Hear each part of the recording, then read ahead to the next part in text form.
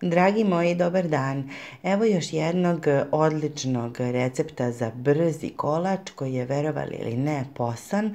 Čak može biti posan i na vodi a, i nije preterano skup. A, krećemo odmah sa receptom. Ovde sam stavila 8 kašika mlevenih oraha, zatim 15 kašika brašna,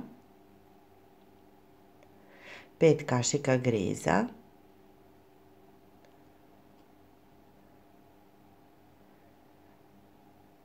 kašiku sode bikarbone i pola praška za pecivo.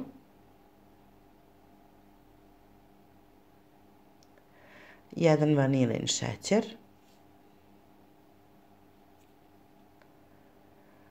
Ovdje imam 10 kašika šećera. To ću sve promješati.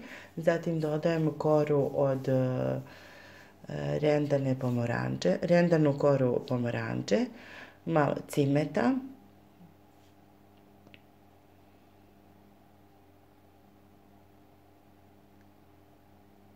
pedeset grama seckanih oraha i 50 e, do 70 grama seckanih smokvi, a vi možete da stavite ukoliko želite i, na primer, suvo grožđe, brusnice, šta god imate u kući. Možete, na primer, i žele da stavite, isto bi bilo super. Uh, i uh, 420 ml vode. I sve ću to uh, dobro izmešati. Rerna je zagrejana na 180 stepeni. Ako želite da ovaj kolač bude posan na vodi, možete da stavite uh, na papir za pečenje ovaj, ukoliko ne želite da bude na vodi posebno, onda možete margarinom da namažete pleh kao što sam ja uradila i da izlijete u pleh i da pečete. Peče se nekih 20 minuta i još topao možete da ga izvadite i da ga premažete džemom koji imate kod kuće. Ja sam mazala džemom od šljiva, može to da bude i džem od kajsije, na primjer, što da ne. A preko toga ćemo staviti mlevene orahe. Može umesto mlevenih oraha da ide, na primjer, i mleveni keks ili šta god vi poželite.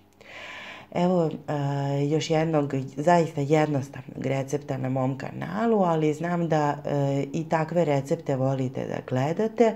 Ukoliko se stavi umjesto uh, smokvi suvo grožđe, onda je i ovaj kolač prilično jeftin. Uh, Tako da, eto, drage moje domaćice, nadam se da imate sada još jednu ideju za neki brzi kolač. Sve zajedno, e, kompletna priprema traje i pečenje oko pola sata, tako da ako budete pripremali po ovom receptu, javite mi vaše utiske, nadam se da će vam se dopasti. Namazala sam sa džemom od šljiva, e, pečen kolač i sada ću staviti malo mlevenih oraha od ozgo, a vi možete da stavite, uh, kao što sam rekla, mlevene orahe, keks, ma šta god poželite. Hvala vam što me pratite, ljubi vas vaša Milica Mihajlović. Prijetno!